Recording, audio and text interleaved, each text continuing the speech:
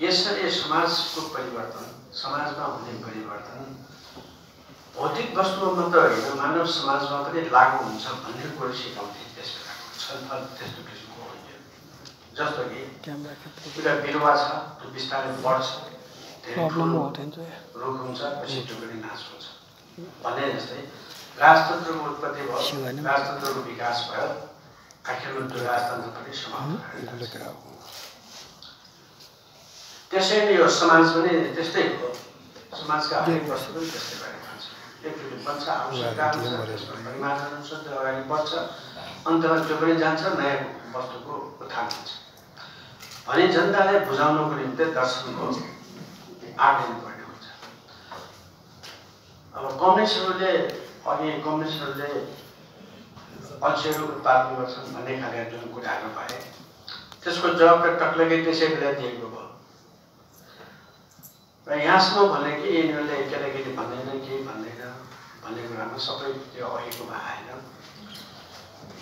केटाकेटीलाई त पुँजीवादी व्यवस्थामा बेचिहाल्थे आमा बाबुले बेच्दैन सिधै बेच्दैन। बरु कम्युनिस्टहरूले साम्यवादीहरूले आमा बाउले पनि आफ्नो छोराछोरीलाई बेच्न नपाउने बन्दोबस्त गर्छ र जवाब मात्रै दिएको हुन्छ त्यसमा? यस्ता धेरै जवाबहरू दिन सकिन्छ अब अर्को कुरा हामीले दर्शन शास्त्रकै विषयमा जाँदाखेरि साथीहरूले यो चेतना विचार त्यसले अध्यात्म भनेर जुन चिन्तनको कुरा छ त्यसले एकातिर राखेको एउटा अर्को कुरा वस्तु पदार्थ छ अङ्ग्रेजीमा मेटल भन्छ है। त्यो दुईवटा पक्ष छ छलफलमा कहिले कहिले आउँदा यदि मान्छेमा विचार नआएको भए समाजवाद हुने नै थिएन भनेर कसैले भन्यो भने त्यसले चेतनालाई प्राथमिकता दिएको हुन्छ। त्यसको जवाफमा के भन्नुपर्ने हुन्छ भने यदि समाजमा अन्याय अत्याचार नभएको भए मजदुर वर्गले दुःख नपाएको भएदेखि यो समाजमा परिवर्तन गर्नुपर्छ र समाजवादी व्यवस्था ल्याउनुपर्छ भन्ने चिन्तनै हामीले थिएन। त्यसको अर्को उदाहरण के हो भने अँध्यारो भएपछि मान्छेलाई बत्तीको आवश्यकता हुन्छ उज्यालो चाहिन्छ। भनेदेखि कम्युनिस्टहरूले यो कम्युनिस्ट बनाउँछु भनेर बनाएको होइन परिस्थितिले कम्युनिस्ट बनाउने ठाउँमा पुर्याइदियो मानव सभ्यतालाई त्यसरी नै कम्युनिस्ट समाज नआइकन अरू उपाय पनि हुँदैन किन? दासहरूका मालिकहरूले दासहरू बनाए समाजले ल्याएका मानिसहरूले किनेर अपराधको कारण विभिन्न चार किसिमको कारणले दास व्यवस्था आयो। दास विद्रोहहरू भए त्यो पनि चलेन। त सामन्त वर्ग आए शासन सत्तामा। सामन्त वर्गले पनि किसानहरूले चित्त बुझाउन सकेन। नयाँ पुँजीपति वर्गको आवश्यकता हो। सामन्तवाद पनि गयो पुँजीवाद व्यवस्था आयो। अब पुँजीवादी व्यवस्थाले पनि जनताले चित्त बुझाउन सक्यो कामदार वर्गको अत्यन्त ठुलो शोषण भयो। त्यस कारण त्यो व्यवस्था पनि जाने निश्चित हो त्यो पनि गर्यो एकै पाइला ल्याएर त्यसरी जाने भएको हुनाले जान्छ भन्ने कुरो तिमीले बताएको र अर्को महत्त्वपूर्ण आवश्यकता अनुसार मानिसले चित्त बुझाउनु पर्ने छ अन्त बेलायतमा राजतन्त्र समाप्त भएपछि संसारमा जहाँ पनि राजतन्त्र विरुद्ध भाग ए यो राजा भनेको त देउताको प्रतिनिधि पनि होइन ईश्वर पनि हुँदै छ छुट्टा खतम भयो भन्ने एक ठाउँको क्रान्तिले सारा ठाउँमा असर पुर्यायो र अहिले समाजबाट आउँदैन भन्ने विषयमा पहिले त आउँदै आउँदैन यो नजाने कुरा हो समानता भनेको हुँदै होइन हातका औँलाहरू पनि समान छैन भने मान्छेहरू कसरी समान हुन्छ भने यस्ता यस्ता तर्कहरू दिन्थे तर अब त विभिन्न देशमा समाजवाद आइसकेको हुनाले समाजवाद त आउने रहेछ। तुलनात्मक रूपले समाजवादी व्यवस्था राम्रो हुँदो रहेछ भन्ने कुरो सिद्धान्त त। स्वीकार्दैन तर आउँछ कसरी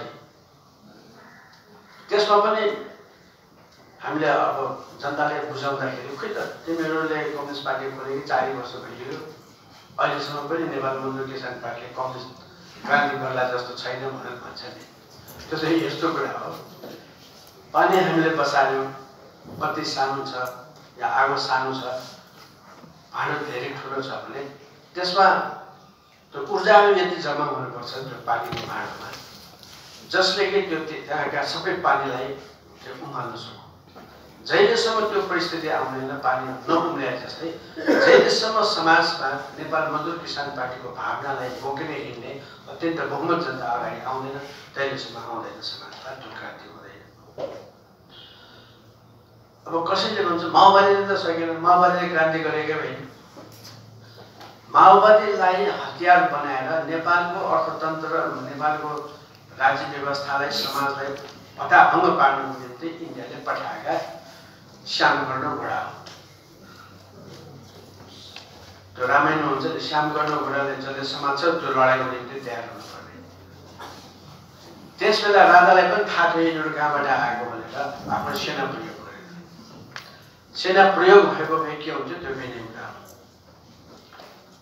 सायद माओवादीलाई दबाएकोले त्यसै बेला राजाले सिद्धाउने अर्को पद पठाइदिन्थे। यसकारण माओवादीहरूको उद्देश्य तल्लो वर्गहरूमा काम गरेर बिस्तारै सबै जनताले उठाएर काम गरेको गर्ने उनीहरूको उद्देश्य भए उनीहरू बिचबाट नआइकन तिनीहरू सिमाना सिमानामा बसेर तिनीहरूले त्यहाँको व्यवस्थालाई राम्रोसँग बनाइसकेपछि बिस्तारै उनीहरू राजधानी आउँथ्यो तिनीहरू राजधानी आउनुको मुख्य कारण अब सक्दैन यसले झन् नराम्रो स्थिति आउने भयो हिन्दुस्तान धेरै बद बदनाम भयो।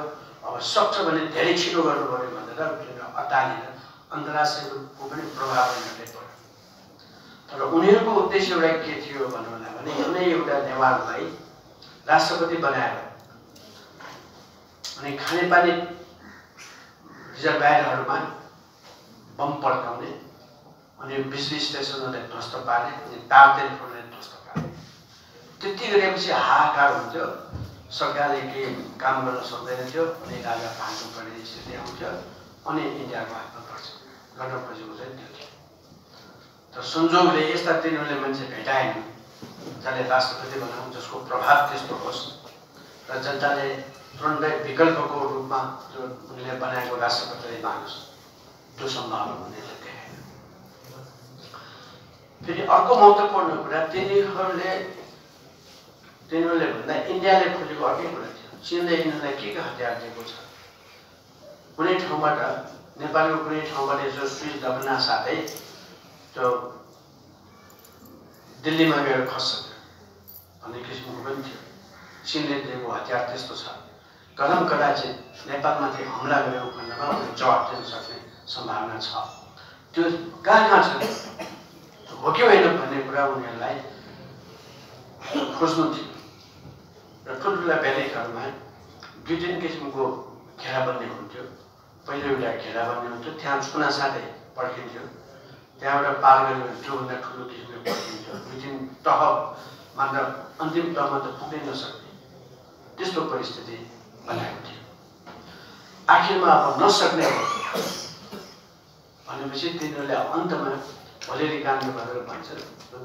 हेलिकप्टर पठाए हेलिकप्टरमा गोली हान्थ्यो ती सिपाहीहरू नेपाली सिपाहीहरू त्यहाँ युवा युवाहरू ध्यान र त्यस बेला चारैतिर क्यामेरा राखेर नेपालको सेना एकदम करप्ट छ जनताको विश्वास छैन यसकारण त्यो जान्छ भने देखाउनुको निम्ति त्यसले केटीहरूको तयार केटीहरूसँग नाचगान गराउनुको निम्ति तयार। झाड रक्सीको सबै बन्दोबस्त गरेर ती सिपाहीहरूलाई नचाउन खोजेका थिए तर डिसिप्लिन सेना भएको हुनाले युवाहरू भएको हुनाले त्यो माओवादीहरूले चाहेको या भारतले चाहेको स्थितिमा उनीहरू गाएन उनीहरूले भोरै गरेनन् र उनीहरूले रक्सी सक्सी खाने त्यो काम पनि गरेन त्यो केटीहरू लाग्ने केही पनि काम आफ्नो जो डिसिप्लिन छ त्यो डिसिप्लिनभित्र पर्छ यसले गर्दा के अरे यसले गर्दा अब जसरी बदनाम गर्ने उद्देश्य थियो भारतको र यिनीहरूको त्यसरी पाइँदैन र नेपाली सेना डिसिप्लिन छ जो आक्रमक जो हिंसक भनेर उनीहरूले खुब प्रचार गर्यो त्यो होइन भनेर थाहा पायो अब तिनीहरूले हरेक किसिमले यिनीहरूलाई नसि सिद्धाउन नसकिने भयो भनेर अनि सम्झौताको मागमा तिनीहरू गएका हुन् यसकारण माओवादीहरूले साँच्चै समाजवादी व्यवस्था ल्याउने जनताको सेवा गर्ने कुरा मुखले भने पनि तिनीहरूलाई व्यवहारमा पनि थाहा थिएन।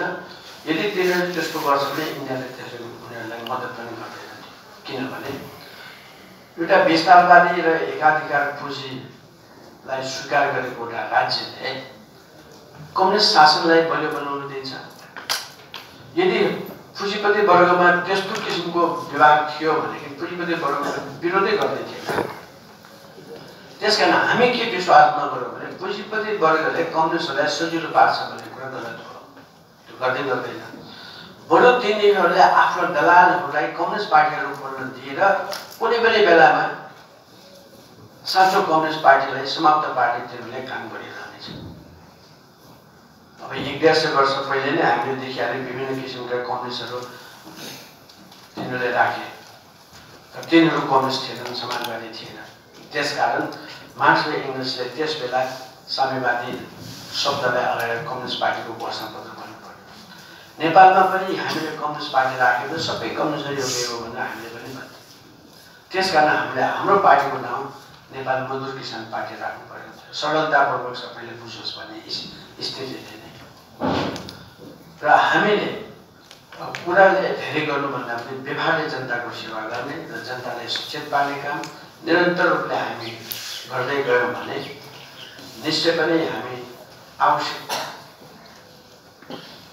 आवश्यक समयमा र ठिक समयमा हाम्रो यात्रा एउटा कम्युनिस्ट क्रान्तिको सङ्घारमा पुगेछ यसकारण हामीले नयाँ नयाँ साहित्य पनि हामीले पढ्दै जाउँ र अर्को एउटा महत्त्वपूर्ण कुरा मार्क्सको सिद्धान्तलाई स्वीकार्ने र मार्क्सकै जस्तै व्यवहार गर्नेलाई हामी मार्क्सवादी भन्छौँ। अब यो कसीमा हामीले आफ्ना साथीहरूलाई पनि जान्छौँ। दुई चार पैसा यदि अरू पार्टीले दिएपछि एमाले माओवादी या कुनै राजावादीहरूले दिएपछि